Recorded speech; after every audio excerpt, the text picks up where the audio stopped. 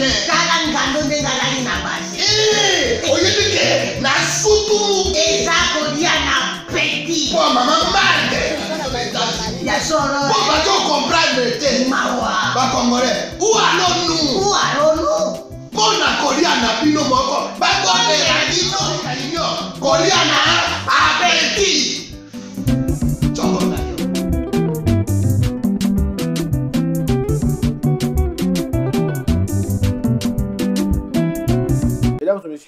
Deuxième jour de la semaine, deuxième numéro de Face à Face.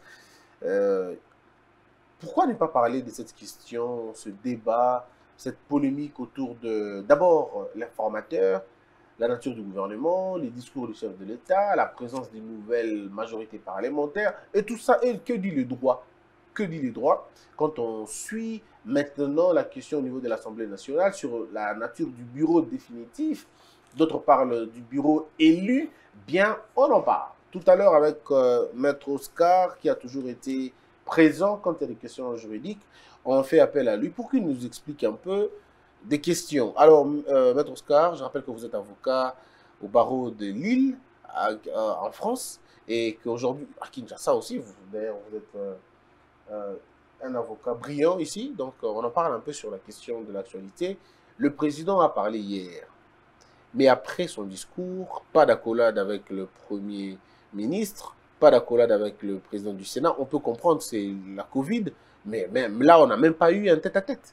Il est parti, il est sorti sans qu'on lève la séance, et il est parti. Est-ce qu'il s'agissait d'une boude? On peut parler de frime? C'est quoi l'affaire, en fait? Caprice?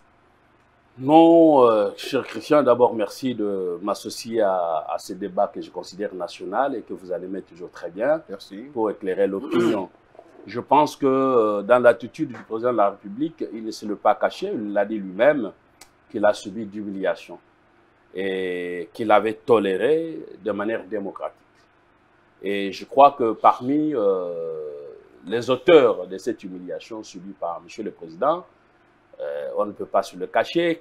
Il y a le Premier ministre, dans son manque de civilité répété tout au long de son mandat, que j'estime qu'il qu'il est fini au fait de toute façon parce que il assure les affaires courantes, on pourra y revenir.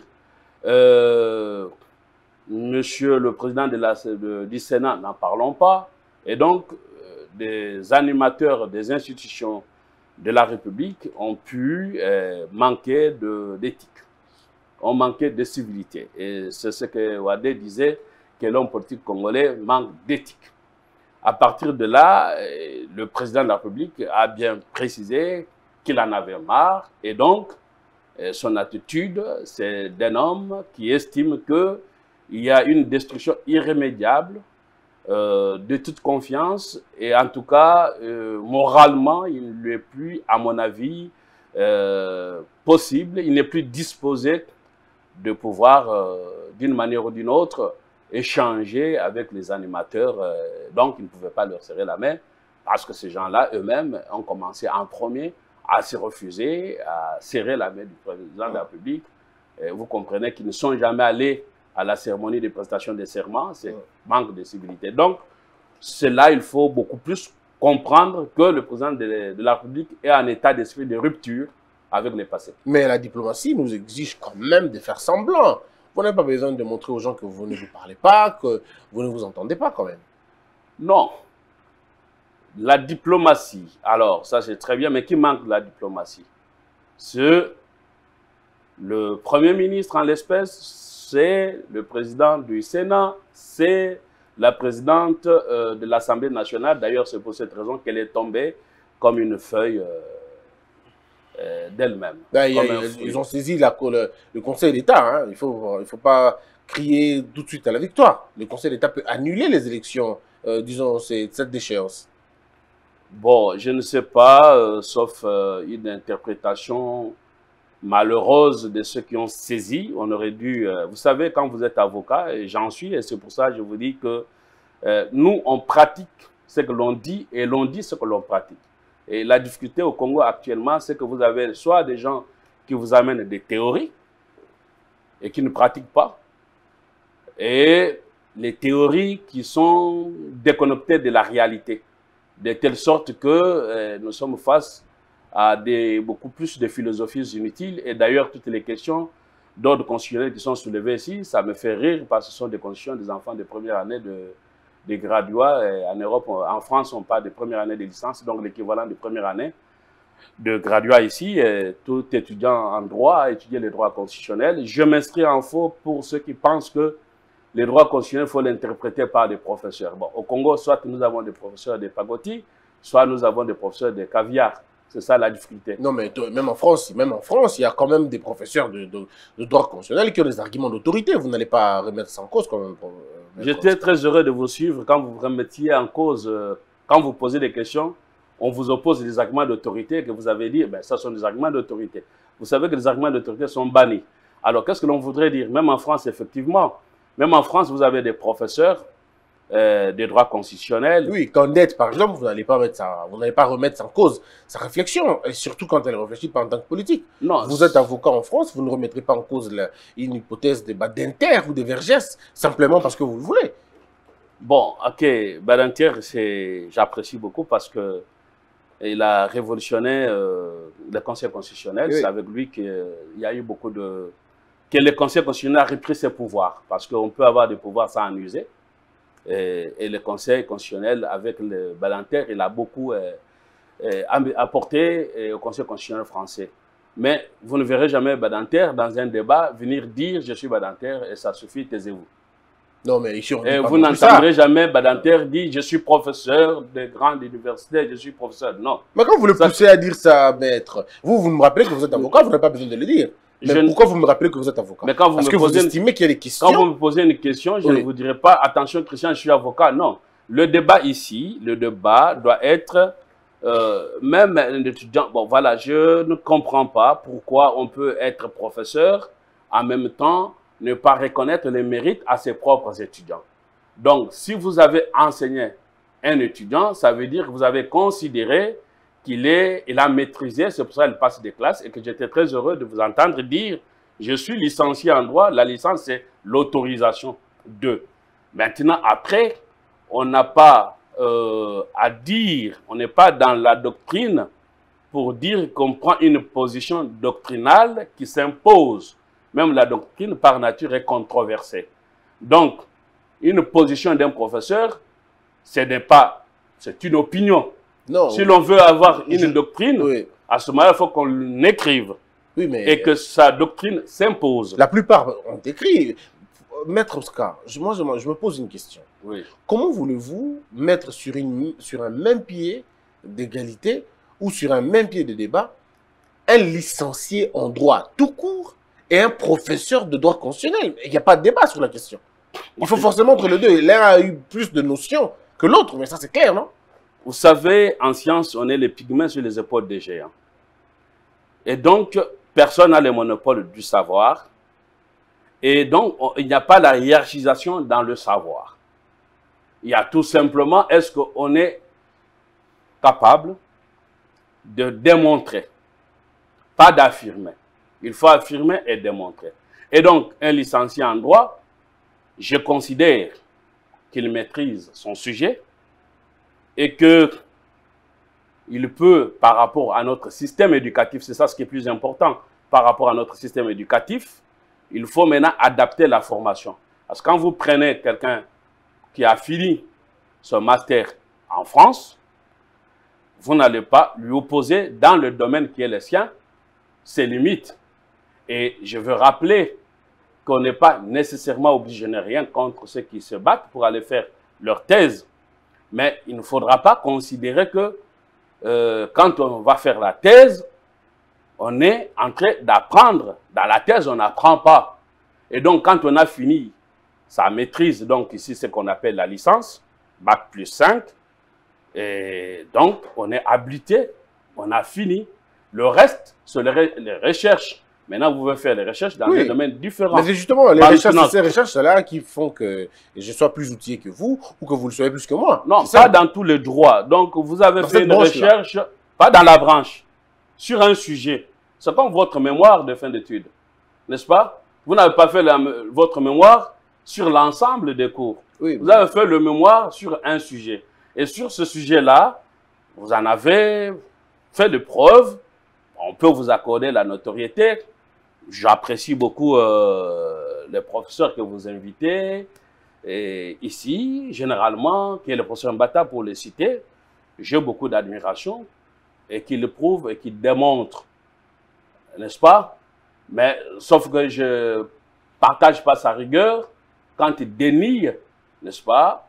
Euh, Il bloque les débats. Là, je ne partage Non, mais il pas bloque ce pas les débats. Il dit que dans telle Non. question, vous n'avez même, même aux États-Unis, maître Oscar, Non. Obama ne va pas s'adresser à un licencié sur des questions de, de droit constitutionnel. Non, il, il je- va d'abord voir les dire- sommités sur la question. Je veux dire, Ce sont eux qui ont la réflexion de référence d'abord. je, je veux dire ceci Ouais. par là, pour que je sois clair. Ouais.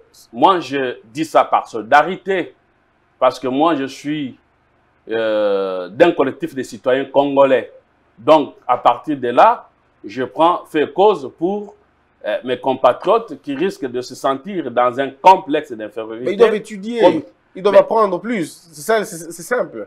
Mais, Christian, quand on a la licence comme vous, Oui. vous avez déjà fini vos études, il n'y en a pas d'autres. Si, le troisième cycle, il y en a. Je suis étudiant en troisième cycle pour euh, Bah, maître Oscar. écoutez, ça c'est d'amalgame d'ici. Bon, effectivement, je prends cause pour vous. Oui. Mais moi, je ne suis pas dans ce cas-là pour que nos auditeurs nous suivent. Moi, j'ai le master en France. Oui, n'est-ce pas? oui. Quand j'ai fini mon master, n'est-ce pas? Bon, il reste quoi? Que vous puissiez vous décider de faire une thèse. Et je vais vous dire que, par exemple, en France, les gens ne veulent pas aller faire des thèses parce que ça vous fait bac plus 8, ça vous diminue la chance d'accès au, au travail. Donc, quand on fait la thèse, c'est parce qu'on est destiné à une carrière académique. Oui. Donc, tout le monde ne veut pas devenir professeur, tout le monde ne va pas aller devenir professeur. Mais quelqu'un comme C'est vous, pourquoi il ne faut pas contredire les professeurs quand ils parlent. non, mais quand vous prenez un professeur de caviar, parce que j'ai dit de Pagotti, vous Oui. avez le professeur de Pagotti, vous Oui. avez Pagotti, c'est le professeur, bon, écoutez, euh, il n'est pas sorti dans les limites géographiques du Congo, et il va vous dire en France, en Belgique. Écoutez, Là, il c'est faut le contredire. Bah, c'est Là, il faut le contredire quand c'est il dit nous faux, mais c'est- pas quand il dit C'est vrai. pour ça que nous sommes là, par exemple, quand vous prenez le professeur que j'appelle des, de, des caviars. C'est Oui. quoi le professeur des caviars? C'est quelqu'un qui, qui ne connaît pas les réalités du Congo comme vous, ok qui vient de Liège, Ah, vous où il du... prend, où il prend son Kabamba. café et il pense que de là, comme un petit colon, il va venir dire aux Congolais leurs propres droits. Vous pensez que le pauvre Kabamba était un professeur de caviar? Je considère parce que quand vous prenez toutes ces affirmations, de, de, bout, de bout en bout, tout ce qu'il a affirmé est totalement faux. Comment ça? Et donc, les gens qui l'ont suivi ne peuvent que se boucher les oreilles, ou en tout cas, être, euh, comment, si on était médecin, on allait dire, il faut donner une cure de, de désintoxication. Non, il a un- Alors, on va, on va lire ce qu'il a dit, comme ça on peut aller sur Totalement faux, de bout en bout. Vous pouvez l'inviter au débat, je, je démontrerai. si- Malheureusement, le professeur congolais n'aime pas le débat. Ils aiment le Lui, il n'est pas professeur congolais, il est professeur liégeois. Non, mais il est... Moi, j'ai discuté avec Francis Delperret en Belgique. Ce n'est pas... Quand vous arrivez en Belgique, c'est Francis Delperret. Il discute avec les étudiants, on prend les cafés ensemble. Quand vous arrivez en France, par exemple, vous allez vous parler de Philippe des Rosiers, ils discutent. Badinter dont vous parlez, vous allez à l'école des avocats où j'étais, l'école de Paris, vous avez la promotion Badinter. On discute.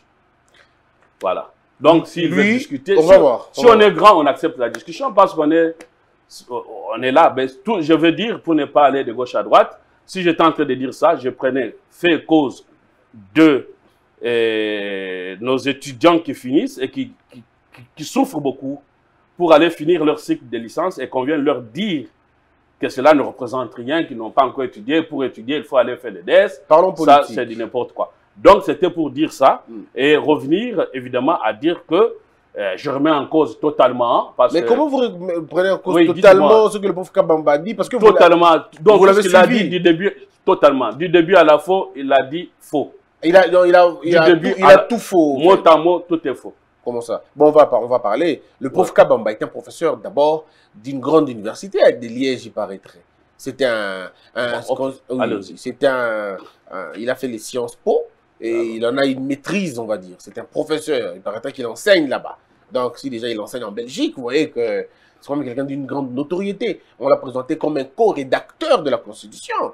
Donc, c'est quand même quelqu'un qui a, a un parcours académique très, très important. Vous avez vu comment il a impressionné le présentateur de l'émission. Parce qu'il avait, selon eux, une connaissance très approfondie sur des questions de Il aurait été ridicule s'il était devant vous. Ben, ben, il n'est jamais venu, mais au moins, Ok. il a, là-bas, Bon, il a été c'est- je brillant. vous laisse. euh, Dites-moi ce qu'il a dit et je vous démontre les On y va. Il dit, on va prendre quelques éléments.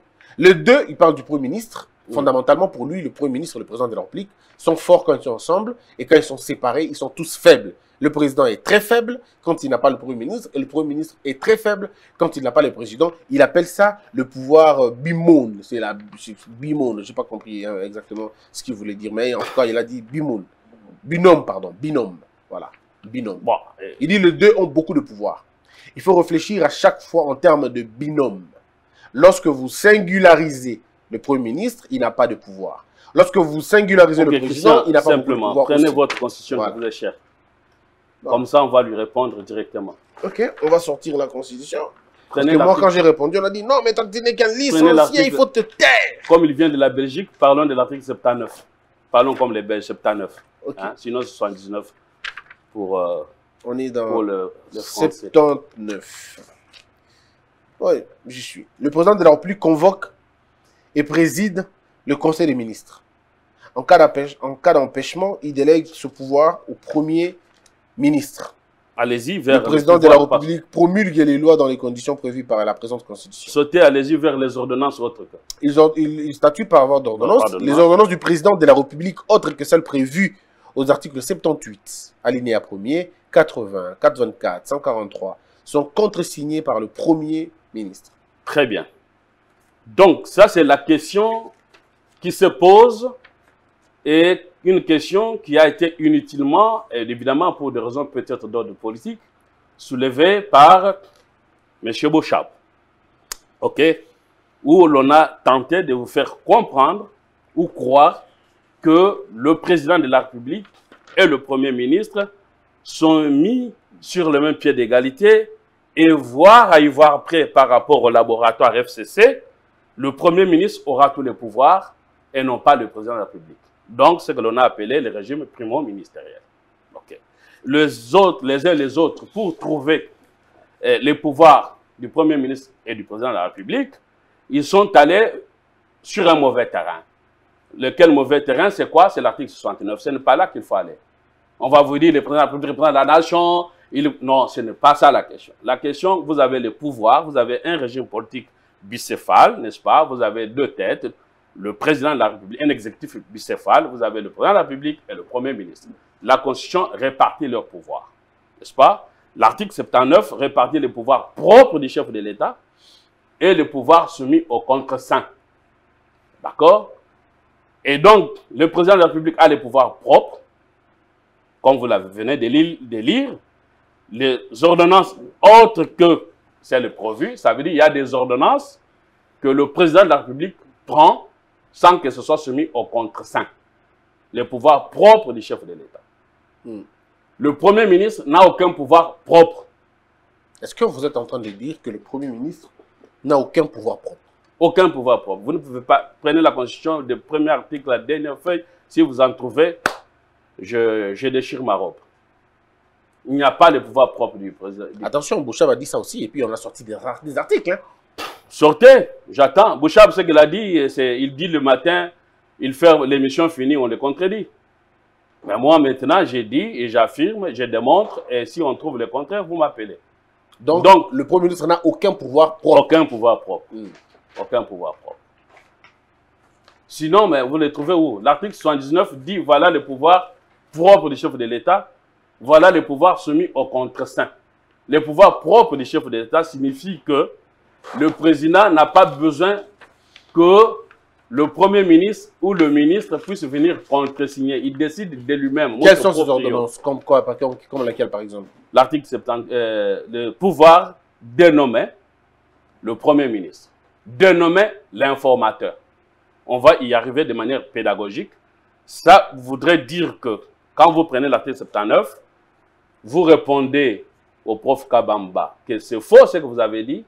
Il y a les pouvoirs qui ne sont pas soumis au contre-saint ministériel, notamment la nomination de l'informateur, relève de l'article 78. Mm. Donc, dans le- la Constitution, l'article 79, on a dit les ordonnances autres, Autre que. que. Dans autre que, vous reprenez l'article 78. Mm. Donc, l'article 78 n'est pas soumis au contre-saint. L'article 80 non plus. Ce n'est pas soumis au contre-saint 84, non soumis au contrat, ils sont énumérés. Donc, euh, Monsieur Christian, voilà, totalement, toutes dites les affirmations, est dans Il est dans le faux. totalement. Il est là dans le faux, non seulement lui-même, Bochab, professeur Bochab, Oui. si vous voulez, mais je, me, je peine de l'appeler professeur. hein. Ce n'est pas parce qu'on a un diplôme qu'on est professeur. On doit dire la science, quand le mur est blanc, il est blanc. hein. C'est pour cela que Galilée avait dit, pourtant la terre tourne. Quand on l'a pendu, on voulait qu'il puisse contredire. C'est pour ça que vous avez dit qu'il n'y a pas d'argument d'autorité. C'est ce que vous avez dit. Ce sont des arguments bannis dès le Moyen-Âge. Mm. Et quand Galilée a contredit l'Église, on a dit, tu changes, on ne te tue pas. Et il s'est incliné, il a regardé la terre. Et il a dit, et pourtant elle tourne. Il ne pouvait pas contredire. Et on l'a pendu. Parce qu'il il a accepté la mort. Mm. C'est ça, un scientifique. Et donc, euh, pour les professeurs, et chez Okitunde également. Donc, quand nous prenons Il cet se réfère à quoi exactement? Quand nous prenons cet article 79 ou 79, un, quand le prof Kabamba dit qu'il n'y a aucun pouvoir et que le chef de l'État ne peut pas avoir le pouvoir de lui-même de manière singulière, qu'il soit partagé avec le Avec le Premier ministre, cette affirmation est fausse. Ben, Où vous Et trouvez quand ça? il Mm. dit qu'il y a des passerelles, qu'il a conçu la Constitution avec des passerelles, des, des vases communicantes, Mm. ben, tous les régimes, c'est des vases communicantes. Quand il dit, on lui pose la question, c'est quoi les régimes? Il dit un régime équilibré. Mais tous les régimes politiques, toutes les constitutions mettent en place des régimes équilibrés. Mm. Un régime, il n'y a pas au monde un régime qui s'appelle le régime équilibré. Mm. Qu'il soit présidentiel, parlementaire, semi-présidentiel, on fait tout pour que ça soit équilibré. Et l'idée, c'est quoi? Si l'on a bien compris Montesquieu, parce que c'est le Mon- Montesquieu qui est l'inventeur de, tout ça. Mm. Montesquieu a parlé de la séparation des pouvoirs. Pouvoir. Et puis Mais- bon, après c'est net, c'est Il, souple, il- il faut, il faut dire que pour les étudiants, il ne faut pas que je scandalise. Montesquieu n'a jamais parlé de séparation des pouvoirs. Mm. C'est pas un absus. C'est comme Descartes, cogito ergo sum. Je pense donc, de donc, c'est parce que le langage exigeait qu'on puisse dire donc. En réalité, Montesquieu veut dire, il conçoit le pouvoir, parce que lui-même était mécanicien, il conçoit le pouvoir comme euh, sur une chaîne, de sorte qu'un maillon entraîne l'autre. Ça veut dire qu'on ne peut pas, une institution à elle-même, fonctionner sans l'autre. Il faut qu'une institution entraîne l'autre qui est la collaboration. Mm. Et donc, tous les régimes politiques répondent à cette collaboration-là. Donc, au lieu de parler de séparation du pouvoir, on parle de répartition du pouvoir, de sorte que le pouvoir entraîne le pouvoir. Et donc, quand le professeur Kabamba vient vous dire que le président de la République n'a aucun pouvoir propre, comme Cheikh Kitundu le répète, Mm. je pense qu'il a mal enseigné Cheikh Kitundu. Je crains maintenant que ce soit lui qui ait enseigné les gens de FCC. Et donc, comme on a un mauvais professeur, on a des mauvais étudiants qui viennent répéter ce que le professeur les a mis en bouche. Mais ça se trouve- Donc, le oui. professeur Kabamba, comme il est belge, c'est pour ça que je parlais de professeur de caviar, il a peut-être encore une compréhension de la loi fondamentale. C'est pas possible, maître Oscar. De- La loi fondamentale, c'est plus de 60 ans. Ben, c'est ça, je veux vous renvoyer à la loi fondamentale. Si vous pouvez regarder Je ça. vais voir dans la loi fondamentale du 19 mai J'ai la- 1960. J'ai la loi fondamentale. Quand vous prenez l'article 20, C'est le premier chapitre du chef de l'État. voilà, l'article 20, on dit le chef de l'État n'a aucun pouvoir, aucun pouvoir de chef d'État qui ne soit soumis au contre-saint. Voilà, je vais lire l'article. D'abord, l'article 19 dit La personne du chef de l'État est inviolable. Le Premier ministre et les ministres sont responsables. Je comprends. Bon, à l'article 20. L'article 20. Aucun acte du chef de l'État ne peut avoir d'effet s'il n'est contresigné par un ministre qui, par cela, par cela, seul s'en rend responsable. En aucun cas, l'ordre verbal ou écrit du chef de l'État ne peut soustraire un ministre à la responsabilité. Bon, très bien. Vous voyez que le, selon la constitution mise en place par les Belges, une constitution conflictogène, parce que dans ces dispositions, elle portait en elle-même les germes des conflits. C'est pour ça qu'il y a eu le conflit entre Kassaboubou et Lumumba qui sont révoqués mutuellement. Mm. Et quand on vous dit aujourd'hui que nous risquons de connaître la même crise de 1960, cette comparaison ne tient pas, c'est qu'on n'a rien compris. Sauf si on a été à l'école de Bob Kabamba, par exemple. Parce que là, la constitution de la loi fondamentale du 19 mai 1960 refusait, et c'était un non-sens. Donc, tous les pouvoirs du président de la République étaient soumis au contre ministériel, Mm. y compris le pouvoir de révocation.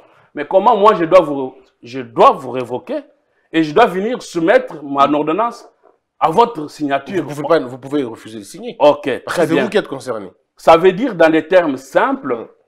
tous le gens-là que vous avez entendus du laboratoire FCC, qu'est-ce qu'ils veulent vous dire? En disant qu'on ne peut pas prendre, le président de la République ne peut pas prendre l'ordonnance sans que le Premier ministre n'ait signé. Et c'est pour ça qu'ils ont dit au Premier ministre de ne pas démissionner. Comme ça, nous entrons dans un bras de fer. Ils n'ont rien compris.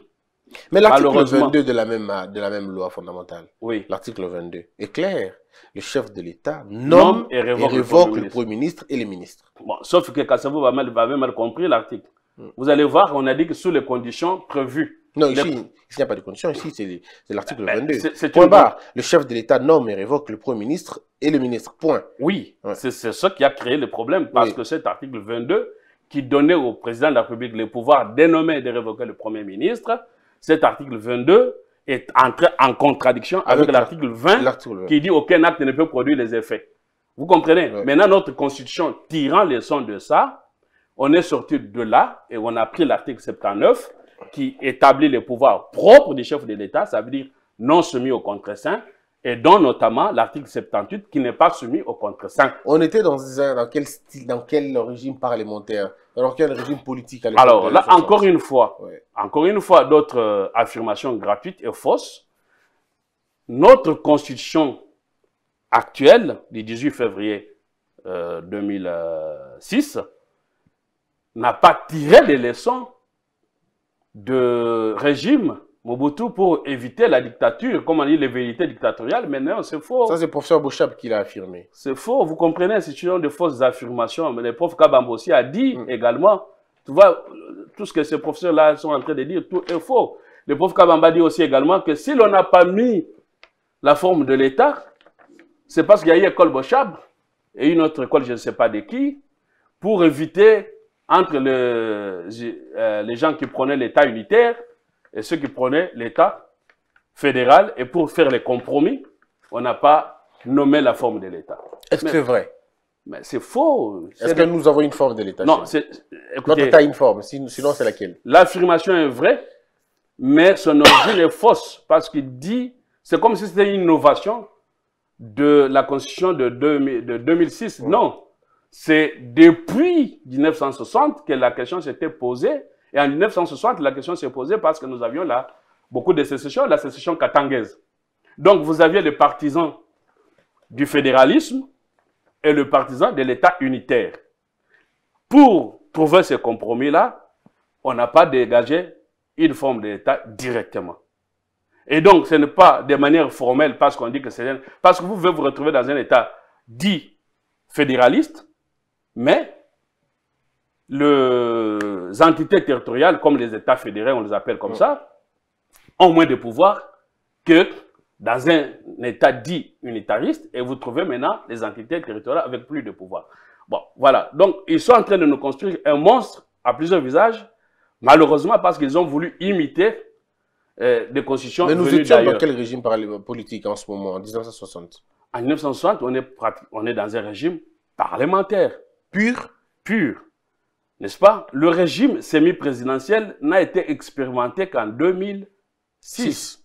À l'époque de Et donc, vous avait comprenez, non, un régime présidentiel qui a glissé vers ce qu'on appelait le présidentialisme africain. D'accord. Et donc, quand ils vous disent, et je, je mets tout de suite en déroute leur affirmation gratuite, quand ils vous disent que la constitution de 2006, c'était pour contrer les velléités dictatoriales de M. Mobutu, En dépouillant tout le pouvoir du président pour le remettre entre les mains du Parlement. alors c'est un non-sens. s'ils affirment ça, il faut qu'on nous dise quel est notre régime politique. S'ils disent que notre régime, c'est un régime semi-présidentiel, la philosophie du régime semi-présidentiel, c'est de donner au président un- le pouvoir et qu'on soit avec un président fort. C'est pour cela que le président de la République est nommé, et plutôt est élu au suffrage universel pour qu'il soit fort. C'est pour cela, De Gaulle, qui est le père de la Cinquième République, tirant des leçons de la Troisième et Quatrième République, a voulu qu'on puisse passer du régime d'assemblée qui a pour effet d'entraîner l'instabilité institutionnelle pour opter pour un régime fort. Le régime fort, c'est le régime présidentiel. Et le régime que nous avons, on l'appelle semi-présidentiel parce qu'il a imposé les mécanismes parlementaires et les mécanismes présidentiels.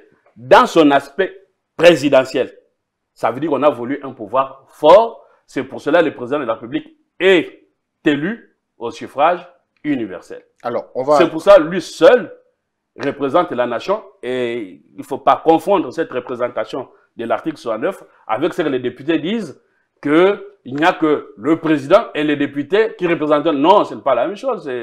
C'est- une confusion la plus totale. Il n'y a que le président de la République qui représente la nation. On poursuit. Mais lorsque vous le mettez ensemble, ils ont beaucoup de pouvoir. Les, et les cas actuels le montrent et le démontrent de manière très claire. C'est pourquoi, de mon point de vue, là c'est Prof Kabamba, euh, ce sont les aspects sur lesquels la fonction du président de la République, telle que l'on la conçoit dans l'imaginaire collectif congolais, n'est pas ce qu'il y a dans les textes, sauf s'il y a la majorité, s'il a la majorité et qu'il sait euh, mettre en place des hommes pour contrôler l'essentiel, de non, pardon, pour contrôler l'essentiel de toutes les institutions pour lesquelles il a nécessité, a nécessité de collaboration. En fait, ici, le pauvre Kabamba simplement nous faire croire que nous pensons que le chef de l'État a beaucoup plus de pouvoir, mais c'est imaginaire. Dans les textes, il n'en a pas beaucoup. Bon, vous savez, M. Christian, ces affirmations, euh, comme je vous ai dit, il faut, désintoxiquer ceux qui ont entendu ça. Mm. Et il ne faut pas laisser des gens venir affirmer des choses. Bon, peut-être il est influencé par son environnement belge. En Belgique, il y a le roi. Mm. N'est-ce pas? Et en Belgique, le roi règne, mais ne gouverne pas. Je vous ai déjà indiqué ici que dans toute l'Europe, et là, je précise bien, comme publiciste, j'ai étudié tous les régimes du monde entier. Il n'y a pas un régime que je n'ai pas étudié. Donc, pour toute l'Europe, il n'y a qu'à la France qui a le régime semi-présidentiel. Tout le reste, c'est régi- régime parlementaire. Pourquoi? À la sortie de la monarchie, toute l'Europe a gardé ses rois. Seule la France a dit cet homme doit mourir ou régner. On a tué les rois. C'est la Révolution française que nous avons tous étudiée à l'école primaire, secondaire, la Révolution française. Pourquoi on a tué le roi? C'est pour ça que les Français n'ont plus admis que le, en 5e République, avec le régime parlementaire, 3e, 4e République, dit le régime d'assemblée, il ne voulait pas que le président gouverne. Avec De Gaulle, on prend maintenant le régime semi-présidentiel, on veut qu'on ait un président qui gouverne. C'est pour ça, dans sa conférence en 65, De Gaulle l'a dit qu'il a besoin d'un président fort. On ne peut pas être fort quand on ne gouverne pas. Donc nous, nous sommes dans un régime à la française. Et je viens de la France et je suis avocat français. C'est comme un musulman qui vient de la Mecque. Donc, il ne peut pas être, vous ne pouvez pas être plus musulman que lui. Et quand vous cherchez les experts, ils doivent connaître les réalités du Congo. J'en connais et je connais les réalités d'autres. Il faut qu'on arrête de me dire comme en Belgique, comme en France, où on n'exerce pas. J'exerce en France et je ne suis pas Ah du ben, vous non, non, vous n'êtes pas le seul à exercer en France. Kabamba exerce aussi en, en, en, en- en Je ne savais pas qu'il était avocat. Non, mais, mais il, il n'est pas avocat, Kabamba. Kabamba est professeur de droit. Ben, un professeur, il est conten- contenant à la faculté, un avocat, il a une vue large, il connaît tout. Oui, mais enfin, lui, les co-rédacteurs, vous, vous n'étiez pas co Ah, d'accord. Ça, c'est encore une difficulté de Oui. professeur Kabamba et professeur Mampouya. Quand, dans notre culture, qu'est-ce que l'on dit? L'enfant vous appartient quand il est dans le ventre. Mm. Quand il est né, il n'est plus le vôtre. Ce n'est pas différent d'un texte juridique. Une fois qu'un texte juridique, vous l'avez pondu, ce n'est pas parce que vous en êtes auteur que vous en êtes l'interprète. Et la preuve, vous pouvez être un rédacteur, mais être un mauvais interprète. Donc dire que j'ai rédigé ça, c'est moi qui dois vous dire ce que j'ai dit, c'est faux. Ce que tu as écrit ne t'appartient plus. Oui, mais. Ok, ça c'est première chose. Oui. Deuxième chose, vous venez de lire dans la loi fondamentale qu'on ne peut recevoir aucun ordre, ni écrit, ni verbal. N'est-ce pas? Mais Mampouya vous a dit, le prof Mampouya vous a dit que la parole du chef de l'État, de Mobutu, valait loi. Vous comprenez les professeurs que nous avons. Et donc, Mais là, c'est Pour- deux contextes différents. C'est deux régimes différents, vous n'allez pas les mélanger. alors, non, les régimes sont différents. Vous savez, en matière institutionnelle, il y a ceci. Parce que quand on est sur les textes, parfois on se trompe. Les textes ne suffisent pas. Parce que toutes les institutions qui sont mises en place n'ont pas existé parce que les textes le prévoyaient, mais parce qu'il y a eu ce qu'on appelle l'équation personnelle. Donc, la personnalité d'un chef de l'État, c'est pour ça que je suis heureux, très heureux, de voir euh, le costume actuel du président de la République. Il a maintenant revêtu le costume du chef. Un peu belliqueux, un peu. Il doit être chef, et c'est pour ça qu'il doit être monarque. Dans le régime semi-présidentiel, on a besoin d'un monarque constitutionnel, un chef qui donne les caps Un monarque et qui dirige républicain. Alors, C'est un roi constitutionnel. Bon, voilà. Mm. Donc, pour dire simplement, et, et d'ailleurs, quand le prof Kabamba vous dit que le, la constitution actuelle n'est plus adaptée à nos réalités, c'est faux. Le problème, c'est qu'ils ont conçu la constitution pour un costume de Joseph Kabila. Sauf que cette constitution-là n'allait pas bien, ces costumes-là n'allaient pas bien à Kabila, qu'il va au mieux maintenant à Tshisekedi. à un moment donné, ça n'ira plus aussi avec lui. Non, mais le problème, c'est celui-là. Vous savez que Mitterrand était farouche adversaire de la Constitution de la Ve République. La Ve République, c'est l'enfant de De Gaulle, Mm. mais quand Mitterrand, qui, qui ne voulait pas de la Constitution de la Ve République, quand il est devenu président, il a bien incarné la Ve République, il a bien défendu cette Constitution, et il a bien réformé, il a tout bien fait. C'est pareil qu'aujourd'hui. La Constitution a été conçue pour Kabila, mais maintenant, aujourd'hui, il convient au mieux à Tshisekedi. Donc, quand on dit qu'on puisse réviser, il ne faut pas que le président de la République se laisse aller dans cette tentative. Vous prenez la Constitution américaine, combien de siècles? Combien d'amendements? Mais la nôtre a beaucoup d'imperfections. C'est ça le problème. mais les imperfections constitutionnelles peuvent être adaptées sans qu'il y ait nécessairement révision constitutionnelle. Comment ça Dites-nous? Par la pratique, je vous donne un exemple simple. Mais la pratique ne peut pas contredire la, la théorie. Non, non, mais non, mais Christian, en droit constitutionnel ou institutionnel, parce que bon, voilà, je vous donne un exemple simple pour qu'on puisse gagner beaucoup plus de temps. Nous avons beaucoup à dire, je m'imagine. Mm. Quand vous prenez la constitution américaine, n'est-ce pas? La limitation des mandats n'était pas prévue dans la constitution. C'est la pratique constitutionnelle. On a limité le mandat, ce n'était pas inscrit dans la constitution.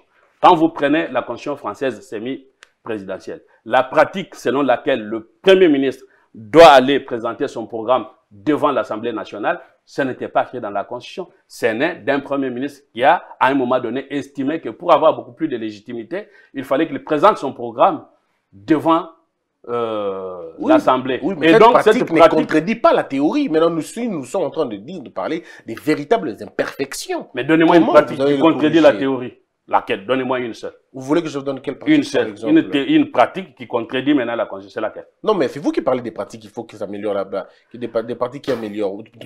Posez-moi plutôt la question, demandez-moi plutôt de savoir quelles sont les imperfections de la Constitution. À ce moment-là, moi, je vous poserai la question comment vous allez corriger ça? Comment allez-vous corriger la, question de la nationalité, des doubles nationalités dans la pratique et sans toucher à la Constitution? Bon, très bien.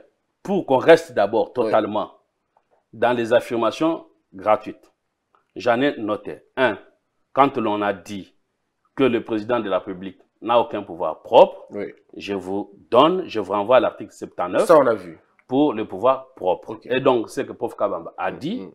comme chez Kitundu, qui a dit qu'il n'avait aucun pouvoir propre, c'est faux. Deuxièmement, conséquence qu'on en tire de là, c'est que est-ce que le président de la République, l'ordonnance nommant l'informateur, est soumise au contre-saint Non, ce n'est pas soumis au contre-saint. Pourtant, il a confirmé. Il a dit si c'est soumis au contre-saint. Qui a dit? Pauvre Kabamba, bien Mais sûr. prenez l'article 70 On a lu l'article, effectivement. 79. Oui. L'article 79 Oui. renvoie à l'article 78. 78. Et il dit que l'article 78 n'est pas soumise au contre-saint. Donc, à moins que le prof Kabamba et les gens de FCC puissent vouloir que les morts puissent signer lui-même son acte de décès. Mais Mozuto, Mozuto a dit la même chose. Mais je vous dis non, monsieur Christian. Est-ce que les morts peuvent signer son acte de décès? Un mort peut-il signer son propre acte de décès? Théoriquement, non. Même en pratique, Même en vous êtes pratique, mort, non. vous allez signer comment? Oui. Mais alors ici, il s'agit de quelqu'un qui Non, doit. mais alors, donc ça veut dire quoi? Ça voudrait dire que le président de la République, quand il démet de ses fonctions de Premier ministre, il ne peut pas aller lui dire, signe-moi ici, avant que je puisse te démettre. Vous comprenez? Et donc, l'on voudrait dire, c'est par élégance, que l'on considère quand le Premier ministre, il n'est plus en harmonie avec le président de la République, il tombe. Mais pourquoi il Kamba ne démissionne. tombe pas? Pourquoi il ne démissionne pas? Parce qu'il est un civique? Le Premier ministre est un civique. Mais bien sûr, je peux peut-être choquer. Ça, ce sont des gens, bon, je ne vais pas avoir des termes forts, mais vous savez qu'il y a la criminalité en col blanc. Donc, quand vous vous refusez de poser un acte que vous exige l'élégance de la politique, parce que tout n'est pas dans les textes. Le texte, la, pratique voudrait, parce qu'on parle de la, de la France et la France. Mais tous les premiers ministres qui, qui ont pu dire, qui ont pu démissionner, ils l'ont fait parce qu'ils n'étaient plus en harmonie avec le président de la République. Donc, quand ça chauffe entre le Premier ministre et le président de la République, c'est le Premier ministre qui part. Quand Prof Kabam vient vous dire que c'est conflictuel, non, ce n'est pas conflictuel. Parce que quand le Premier ministre ne veut pas partir, le président va le faire absolument partir. Comment il va le faire absolument Bon, partir? très bien, mais maintenant c'est simple. Je vous avais dit dans l'émission précédente, s'il ne part pas parce qu'il n'a pas présenté sa démission, la majorité bascule au sein de l'Assemblée, le président soumet cela par une motion de censure, ça veut dire le parti du président de la République, soumet une motion de censure, et quand on vous dit des majorités mécaniques, oui, la majorité, la preuve est là, la majorité n'était que mécanique, parce qu'une majorité s'est définie autour d'un vote. Le prof Mbata Oui. pense que le président peut aussi rapporter ou retirer son ordonnance qu'il considère dit- qui frise légalité, Wow. Vous savez, Christian, je suis plus ami de la vérité que de mon ami en sciences. Je m'écarte totalement de cette approche parce que l'ordonnance du chef de l'État ne relève pas du droit administratif. Vous comprenez? Toutes les ordonnances du chef de l'État ne relèvent pas du droit administratif. Et, et donc, Pas le droit constitutionnel ou le droit administratif du droit administratif. Parce que quand vous parlez qu'on peut rapporter, vous êtes sur une théorie administrative, administrative du parallélisme des formes. Oui. Donc, celui qui a signé peut rapporter sa signature par lui-même, autorité qui a pris la décision, Oui. ou par l'autorité supérieure. Oui. Ça, c'est une transposition d'une théorie administrative qui ne s'applique pas euh, en droit constitutionnel ou droit institutionnel. Donc, Ce n'est pas la même chose. Je Pourquoi vous- je vous le démontre. Vous ne pouvez pas appliquer la même méthode pour construire sur le sable et que sur un autre terrain. Donc, il faut que les choses soient adaptées. Donc, quand vous faites une transposition d'une théorie du droit administratif en droit institutionnel, vous êtes à côté. Donc, ce n'est plus la même chose. Non, mais c'est pas parce qu'on est à côté qu'on accepte qu'on est à côté. Mais je vous, le n'est pas à je- côté. je vous le démontre. Oui, Je vous le démontre. Le- L'ordonnance du président de la République, Oui. normalement le Premier ministre, Oui. c'est un acte de gouvernement. D'accord? Cette ordonnance-là de l'article 78 ne peut pas être soumise, n'est-ce pas, au contrôle d'un juge, Mm. y compris le juge constitutionnel. Comprenez-vous? Et donc, à partir de là, ce sont ce qu'on appelle les actes du gouvernement, donc insusceptibles de contrôle. Ce sont des actes de souveraineté. Donc, si vous admettez que le président de la République nomme le Premier ministre, il peut rapporter son ordonnance, ça veut dire que vous admettez que le président de la République peut démettre de ses fonctions le Premier ministre sans que les conditions en soient réunies. Pour que le président puisse démettre le Premier ministre, la condition prévue par la Constitution, c'est que le Premier ministre doit présenter sa démission. La logique est maintenant celle-ci. Parce que maintenant, au Congo, il y a des choses qui ne répondent pas à un ordre donné. C'est comme quelqu'un vous dit, mais euh, voilà, si vous voyez un enfant, euh, vous dites que bon, un enfant qui se jette dans la voiture, il va que mourir. Donc, autrement dit, on n'a pas pensé que le Premier ministre puisse refuser de démissionner.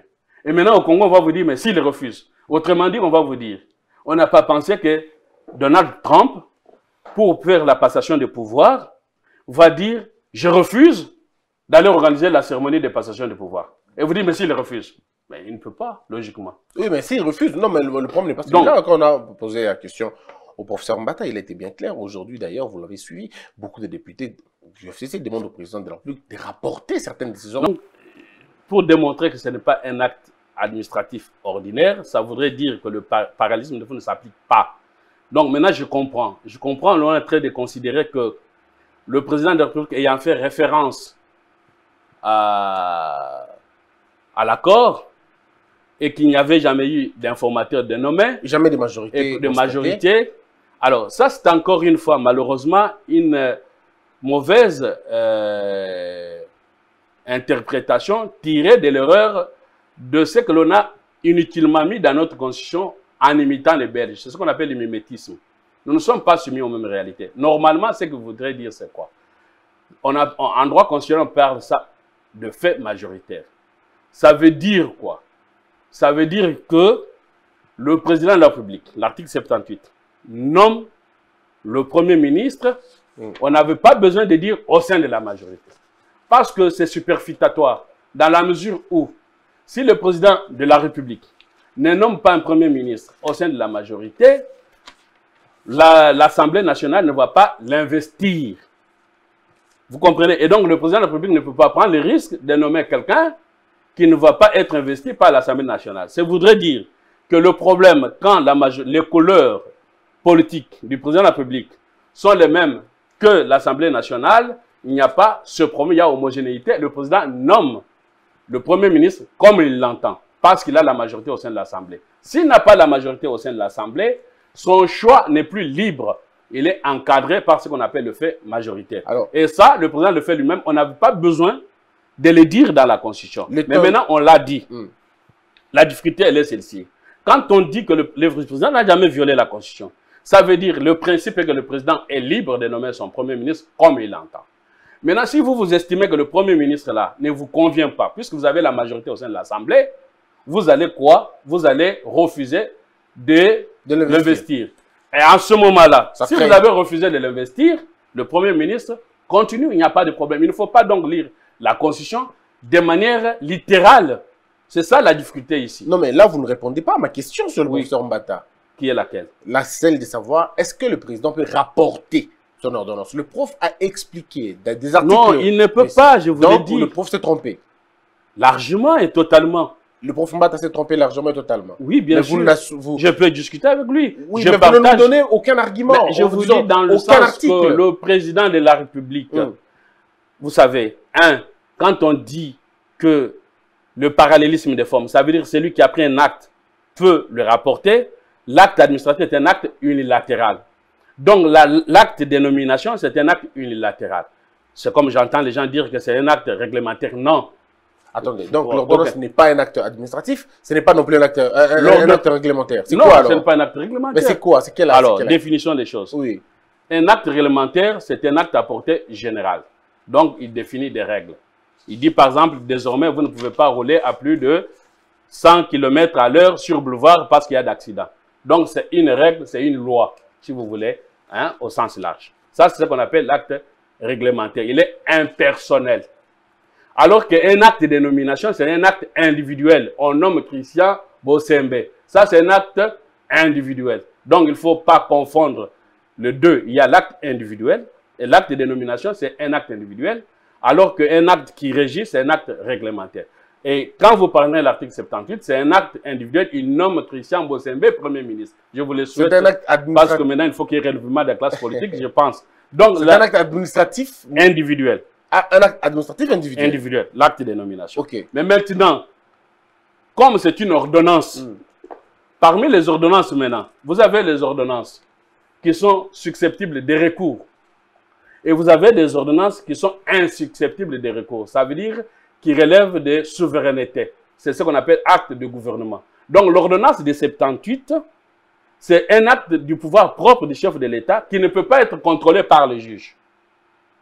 Donc le juge ne pourra pas dire au président de la République, tu as nommé Christian Bossembe, il ne fallait pas le nommer, j'annule ton ordonnance. Mais comment possible? Très bien. Alors, est-ce que vous... Alors, donc à partir de là, Hmm. vous avez compris que dire qu'on rapporte, ça ne va pas tenir parce que quand vous avez déjà nommé un Premier ministre, pour le faire partir, vous ne pouvez pas maintenant, de propre motte de vous-même, le faire partir sans que vous soyez soumis aux conditions constitutionnelles.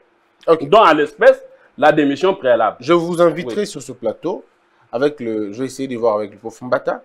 Je vais essayer de voir avec le prof Chilumbai.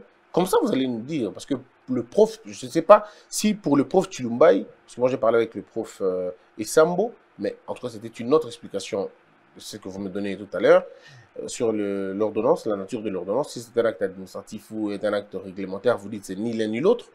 Eh bien, on va voir. On va inviter les deux. Je On précise ma pensée pour que je ne sois pas mal compris parce que Ouais. ça, c'est sensible.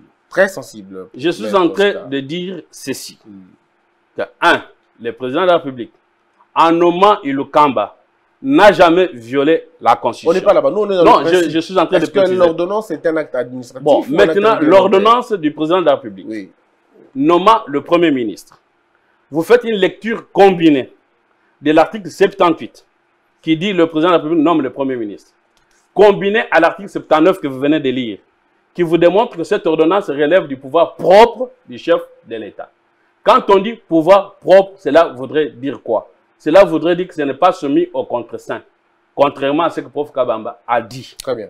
Donc, quand ce n'est pas soumis au contre-saint, c'est un acte dit acte du gouvernement. Donc, s'il peut être un acte administratif, cet acte-là ne répond pas au principe dit des parallélismes des formes qui permettrait que l'auteur de l'acte puisse le rapporter. Non, parce que l'auteur de l'acte ne peut le rapporter qui, sauf si cet acte n'est plus soumis à d'autres conditions de forme qui ne relèvent pas de lui. Or, l'ordonnance nommant le Premier ministre, pour le retirer, ça veut dire pour faire tomber le Premier ministre, c'est ce que ça voudrait dire, c'est soumis aux conditions prévues par la Constitution. Les- À l'espèce, Oui. la démission préalable du Premier ministre. À défaut de cette démission préalable du Premier ministre, je suis en train de vous dire que dans, chez les civilisés, c'est pour ça que j'ai estimé que l'attitude de M. Ilokamba est incivique, parce que chez les civilisés, le Premier ministre démissionne de lui-même, ou alors, c'est pour ça qu'il y a la pratique, et j'en en- j'encourage les chefs de l'État de le faire, au nouveau gouvernement, il faudra absolument, comme De Gaulle l'avait initié, que le Premier ministre puisse, au jour de sa nomination, avant que le président le nomme, qu'il puisse déjà rédiger sa lettre de démission. C'est pour nous éviter à avoir des premiers ministres inciviques qui, quand le président n'est plus d'accord avec lui, il résiste pour démissionner, il crée une crise institutionnelle. Première chose. Et deuxième chose, On va terminer que Deuxième chose Oui. est là-dessus. Il y a aussi une fausse théorie, encore une fois affirmée par les gens de FCC avec leur professeur liégeois, qui consiste à dire qu'on parle de la crise que quand il y a une crise entre le gouvernement et l'Assemblée nationale. Ça, c'est une première hypothèse, une première forme de crise. Et quand on parle de gouvernement dans la Constitution, ce n'est pas euh, entendu le gouvernement comme Premier ministre, parce que le gouvernement a double tête.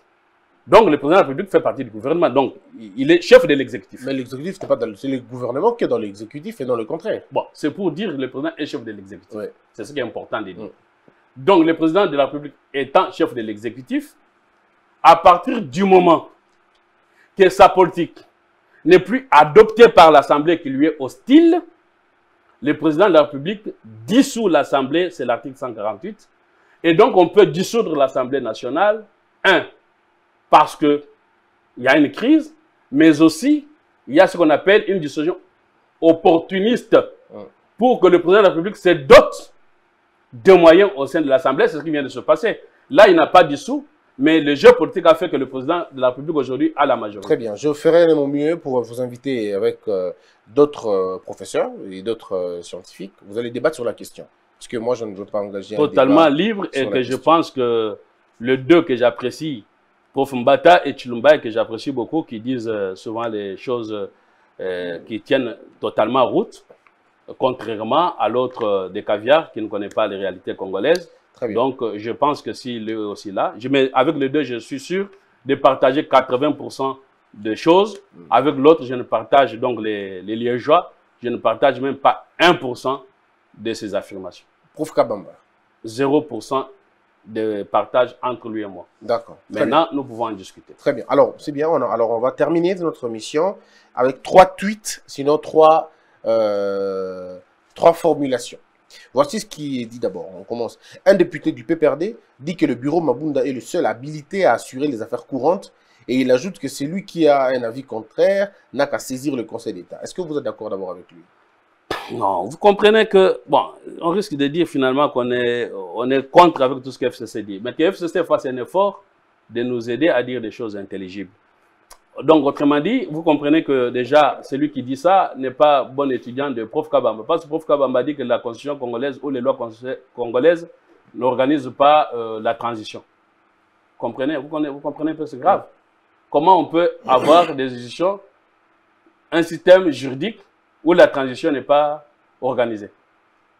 Alors, quand on dit que les institutions restent en place jusqu'à l'installation des nouvelles autres, pour professeur Kabamba, ce n'est pas la transition.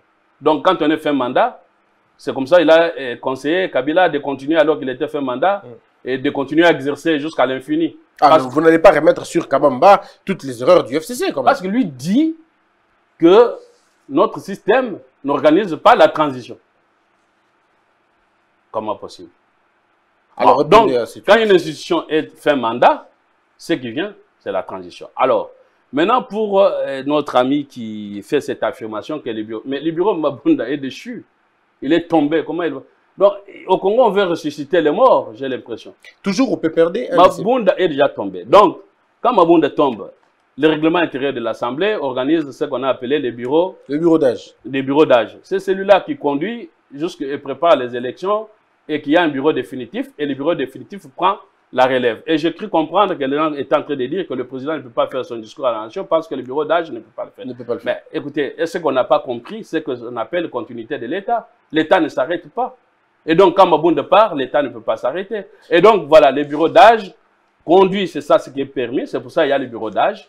Ils assurent les affaires jusqu'à l'installation du bureau définitif qui prend le relais, c'est ce qu'on appelle le principe de continuité. Il y a quelqu'un d'autre du PPRD qui, euh, qui, qui, qui avance euh, la théorie, par exemple, des articles 11 et 31 du règlement intérieur de l'Assemblée nationale et la jurisprudence parlementaire du cadre Caméré. Et c'est au bureau sortant, ça veut dire c'est au bureau déchu, d'expédier les affaires courantes et d'organiser les élections du futur bureau. Bon, déjà, ce qu'on appelle, ici on confond tout, euh, jurisprudence et précédent. Le cas Caméré, ce n'est pas une jurisprudence. Mm. Une jurisprudence, c'est une décision rendue par les cours et tribunaux. Mais maintenant, s'il y a un fait comme celui de Caméré, c'est un précédent. Et ce précédent ne peut être euh, copié et accepté que quand il est positif ou il se répète. Donc, le cas Caméré, ce n'est pas une jurisprudence, c'est un précédent. Mais dans le cas Caméré, que je sache, euh, lui-même euh, était poussé à la porte. N'est-ce pas? Et Il ne s'agissait pas d'un bureau, il s'agissait de lui-même. il s'agissait de lui-même, il ne s'agit pas d'un bureau. Parce que quand on dit Kamere qui est président de l'Assemblée, qui a conduit les affaires courantes, et puis il n'y avait pas eu pétition. Voyez-vous, ici, le bureau est tombé par voie de pétition et le règlement intérieur prévoit tout. Tout est prévu dans les textes. Et en même temps, je vous dis, euh, parce que j'ai cru comprendre que euh, Madame Mabunda, euh, ce serait Saisi aventurier d'aller Non, Bah, je sais pas aventurier, on est, en- on, est, on est dans une république quand même. Elle, est- elle a le droit de saisir la justice si elle, est- elle est lésée. Bon, on ne joue pas avec la justice. Pourquoi on ne joue pas avec la justice? Simplement parce que euh, on ne peut pas aller comme un plaisantin devant un recours abusif. Un recours abusif est punissable, n'est-ce pas? Et donc, à ce niveau-là, j'imagine qu'il a des avocats. Et un avocat, avant de saisir un juge, et là, j'en parle comme avocat, avant de saisir le juge, il évalue les chances de succès de son action. Sinon, c'est une perte du temps au juge. C'est pour ça qu'on est sanctionné quand on saisit les juges avec légèreté. Euh, la résolution de chute de Mme Abunda, c'est ce qu'on appelle acte d'assemblée. Et les actes d'assemblée, et d'ailleurs, il y a un arrêt, une ordonnance en référé qui avait été récemment rendue, n'est-ce pas, par le juge Mavungu, euh, qui a quand même, cette fois-là, euh, bien dit les droits. Euh, je dis bien cette fois-là parce que je mesure ce que je dis. Parce qu'il y a dans d'autres cas où ce n'est pas bien dit. Et ne venez pas me dire qu'on ne critique pas les décisions de la justice. Quand c'est bien dit, quand c'est dit, quand ça réconforte votre position, c'est bien dit. Mais quand ça ne réconforte votre position, c'est mal dit. C'est une mauvaise Non, manière là, en l'espèce, je suis avocat de membres du CINSA, de Olingankoy, n'est-ce pas qui est Olenga lui-même a viré sans que ça repose sur aucun texte.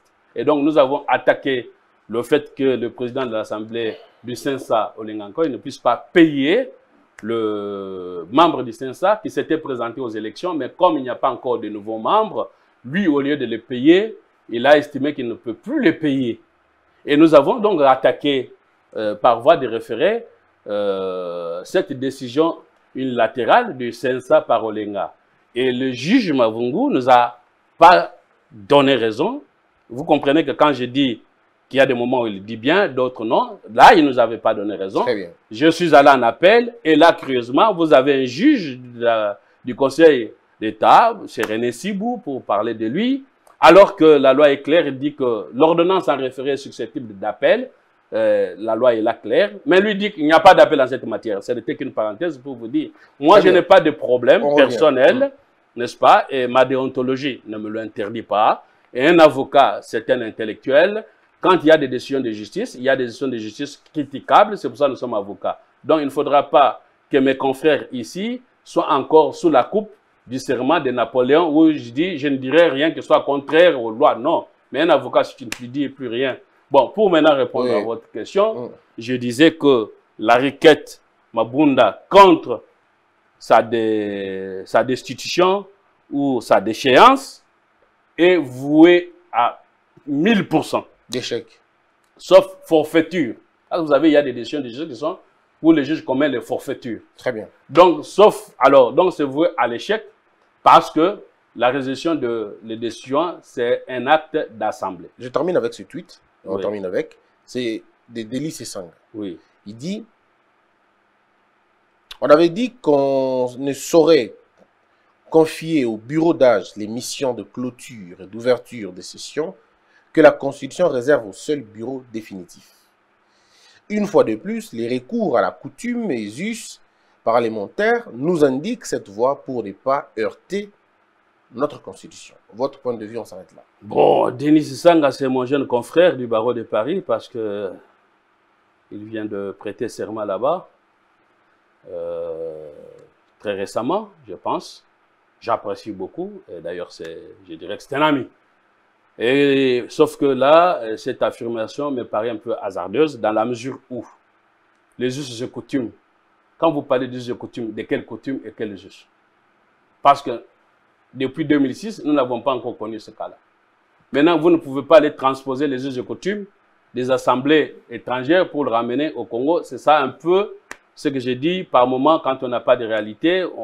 tout ne prend pas. Quand vous allez faire une greffe, bon, voilà, on vous a amputé du bras aujourd'hui ou bien prenons de rein, on ne va pas prendre un rein qui vous soit incompatible. On dit, bon, on prend un rein de Maître Oscar pour le coller à vos sembe parce qu'il n'a pas de rein. Je ne vous l'en souhaite pas. Donc, vous comprenez que la greffe ne suffit pas.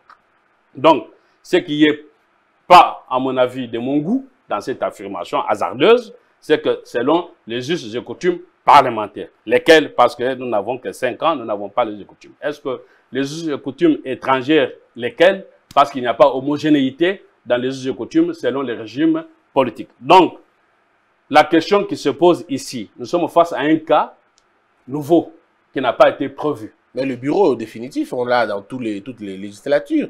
Il y a toujours des bureaux provisoires et des bureaux définitifs. Il Voilà ce qui se passe. ces- Voilà ce qui se passe au Congo.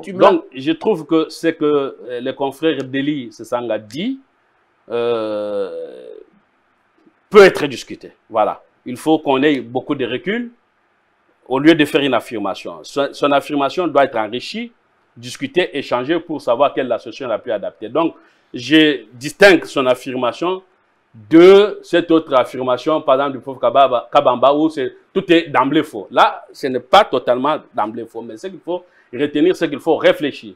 Parce que c'est pour cela qu'on est là pour réfléchir. Donc, vous avez, et c'est pour cela, il faut que vous animiez un peu des émissions comme ça et créer le débat, parce que vous-même, vous êtes juriste. Quand on anime un débat juridique sans être juriste, ben, on tend les micros, tout le monde parle, et puis euh, voilà, on nous prêche, et surtout que cela se fait là où on ne peut pas avoir de contradictions. Alors, dans ce que les confrères euh, affirment, c'est que euh, nous devons nous interroger sur, c'est ça la question fondamentale, au lieu des affirmations. La question fondamentale, elle est celle-ci. Voilà, nous sommes, nous tendons vers la fin. parce que c'est les 15 que... Les 17, on dirait. Je sais pas trop. mais je peux Bon, voilà. Donc, le calendrier aujourd'hui, la chute de Mabunda coïncide avec la fin de la session. OK? Mais cette chute entraîne des conséquences automatiques au plan institutionnel. Ça veut dire, à partir même du discours du président de la République, euh, le premier discours euh, où il a initié des consultations six minutes. de six minutes, à partir de là, en pratique, en théorie, il faut être sur les pratiques, le gouvernement et le Kamba étaient démissionnaires. Il le devient davantage avec la chute de Mabunda, parce que ce gouvernement-là n'a plus la majorité au sein de l'Assemblée et qu'il y a déjà rupture de confiance. Et si jamais on s'hasardait à dire qu'on va maintenant en vacances parlementaires, ça, au mois de mars que ça reprend. Donc on ne peut pas laisser le pays paralysé avec un gouvernement qui n'a plus la confiance du chef de l'État parce qu'il ne peut même plus convoquer des, comment, des ministres. des conseils de ministres. Donc le pays ne peut pas être paralysé. Donc face à ce cas-là, que l'on peut considérer, il y a une instruction de la Cour constitutionnelle sur les cas de force majeure, évidemment, bien rédigée par le professeur Essambo que vous avez cité. Très bien. Alors, donc, à partir de là, il y a lieu maintenant qu'on soit en session extraordinaire pour résoudre euh, la bonne marche du pays dans la continuité de l'État. Une session qui sera appelée par le bureau d'âge. Mais Je n'y vois pas d'inconvénient. Il n'y a aucun texte, à moins que le confrère d'Eli, je vais encore beaucoup plus lui demander personnellement, à moins qu'il nous donne un texte qui interdit au bureau de pouvoir convoquer. S'il y a, il n'y a pas, à mon avis, vous, vous êtes juriste, est-ce que vous avez, On va faire des analyses. vous avez une référence d'un texte là-dessus? Non, non, je vais lire aussi. Est-ce qu'il vous en a donné? Je vais ne apprendre. pense pas. Donc, à partir de là, les Mm. bureaux d'âge, c'est pour moi un bureau provisoire. Provisoire en ce que il organise tout ce qu'il faut Mm. pour laisser au bureau définitif. Et donc, s'il y a un cas qui se soulève aujourd'hui, si nous avons maintenant la guerre qui s'éclate et que le président doit avoir l'autorisation de l'Assemblée nationale et du Sénat, et qu'il n'y a pas les bureaux définitifs, c'est le bureau d'âge qui va le faire en vertu du principe de continuité de l'État. Très bien. Donc voilà un peu ce que moi je peux vous répondre, mais il faut enrichir vraiment la J'enrichirai. discussion. J'enrichirai. Merci beaucoup, euh, Maître Oscar euh, Moubiaï. Je rappelle que vous êtes avocat de Lille et vous êtes chercheur aussi en droit, comme toujours d'ailleurs. Et merci d'avoir répondu à toutes nos questions. Espérons que prochainement on reviendra quand il y aura la nomination d'un Premier ministre ou un autre fait majeur. On en reviendra pour en parler. Sinon, très rapidement, dans un débat contradictoire avec les autres. Que je souhaite de tout mon vœu. On se retrouve très prochainement. Merci d'avoir été nombreux. Je rappelle à tous les Congolais, notre champion, euh, je vous invite d'ailleurs, Maître Oscar, il y a un Congolais junior, Makabou Ilunga, qui est champion du monde. Eh bien, il combattra ce samedi et nous espérons qu'il va gagner, il battra ces Nigériens. Euh, donc, on lui souhaite tout le bonheur. Je crois que vous- si vous êtes invité, ça sera aussi un plaisir. Avec plaisir, comme je peux aussi euh, dire que notre champion, cette fois-là journaliste, Mm. C'est avec beaucoup plus de bonheur que nous souhaitons vous recevoir euh, en Europe. Oh, Donc, euh, déjà, Ben, parce que euh, toute la diaspora me dit passez chez Bossembe, Bossembe nous aimons, donc il faudra qu'ils viennent, qu'ils vous suivent, que vous puissiez leur dire avec toute cette turbulence politique où s'en est le Congo. oh, mais ça sera un grand plaisir. Ça sera où déjà En Belgique ou en France? Ben, L'Europe, c'est un village euh, il n'y a pas de frontières, donc Belgique, France, Australie, plutôt Autriche, tout ça, c'est l'Europe, on se promène, Je comme si on quitte. Bandal Chiban ou Bandal. euh, On ne, on ne, on ne- On fera donc une tournée. On ne frappe- européenne. on ne frappera pas là-bas. Ben, on frappe euh, les médiocres. Et bon, ça c'est. Vous me permettez juste une seconde. Les gens que l'on frappait, on considère que c'était les médiocres, pas ces gens-là maintenaient le régime Kabila. Aujourd'hui, et j'étais avocat pratiquement de tous les combattants, on combattait contre le régime Kabila. Et aujourd'hui, le changement pour lequel on se battait est là. Pourquoi on vous frapperait alors que vous êtes artisan de, de ce changement? Attendons voir. donc, le combat n'a plus lieu d'être, Vous- sauf pour ne pas paraphraser le président de la République, je n'entends pas le faire. Et donc, vous êtes les bienvenus. Vous, vous, vous pensez que ça sera quand? Ben, écoutez, personnellement, je pense selon les calendriers, le fait de fin d'année, tout le monde. Euh, J'ai appris que vous êtes devenu papa, donc Oui, euh, ça fait 5 ça mois. sera Aujourd'hui, mon ça fils a sera, 5 mois. ça sera votre premier Noël Oui, en famille avec votre enfant. Oui. Donc, ça, vous ne pouvez pas voyager. Exact. Et si nous pouvons dire février, c'est un calendrier qui conviendra à tout le monde. Mais je vous avoue que la diaspora sera très, très euh, contente et on vous attend euh, beaucoup plus. Non pas pour vous frapper, mais Euh, pour vous accueillir. Très bien. Chers frères, chères sœurs, chères mères, chers pères, je serai avec vous euh, très, très prochainement. On sera avec Omo. On viendra là-bas, vous allez nous voir. On va tenir des conférences avec euh, Maître Oscar. Et on vous invite, hein, quand ce sera le moment en tout cas, on vous invite. On vous le dira. Merci d'avoir été nombreux. On, se- on vous retrouve très prochainement. Que la peur quitte nos esprits et que Dieu bénisse les RDC.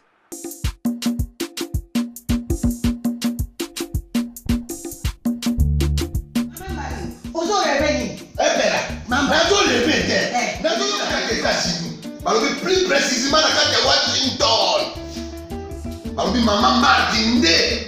Mama marte nde. Balobi shop africa union. Ezoteka nyonso biloko ya ya nini yo congolais. Olingi ndeko na yo a- a- asalisa yo te. Mpo na kolia na yo moko babondela yo. Mpo na nzoto na yo bakoya elei. Mpo mpo babondela yo balobi bio. Bio afrika union ezoteka. Totakola na basinois sino kolia mpe ya commotion. Make one another don take am. I don take am don go ya mboka. Ya fresh. Ya bio. Bio eh. na bio. Bio na bio. Bio mama mbalo kuna mo nkanja izali. Barobi njọ mo eyari. Eh, nkuba baliwa. Barobi enjenje izali. Jako mbakanga yesu emboto ya mbisela. Barobi nyama ya botu ya mokombo to isaga ne. Kala ngando ne ngala ni na basi. Eh, ee oyedike na suturu. Eza kolia na peti. Bọ mama sọ̀rọ̀ rẹ̀. bọ́ọ̀bà tó comprendre tẹ̀. máa wà. bákọ̀mọ́ rẹ̀ wúwa ló nù. wúwa ló nù. bọ́ọ̀nà kọ̀rí ànàbí ló mọ̀ ọkọ̀ bákọ̀ lè rà nínú ìyọ̀ kọ̀rí ànà àbẹ̀tì. jọ̀wọ́.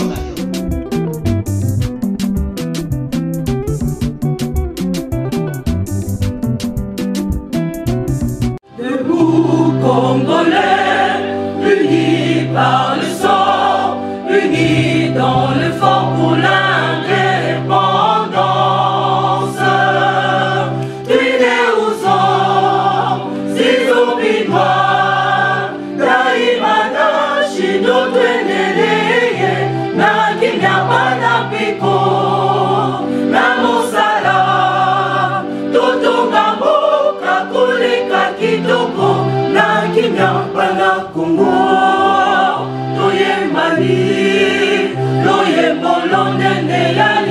성